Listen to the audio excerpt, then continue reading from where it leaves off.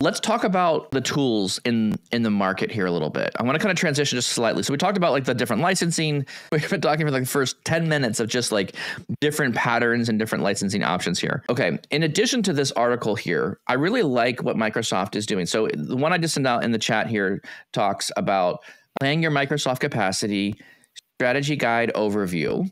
And it talks about in the series, you're going to be planning your first deployment, scaling for self serve analytics, and then scaling for enterprise and managed self service um, solutions and managing your capacity and growth and governance.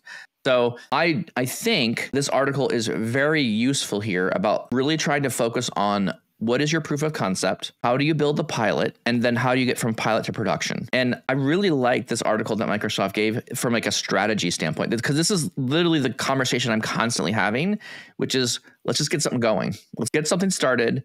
Let's just figure out what the usage looks like.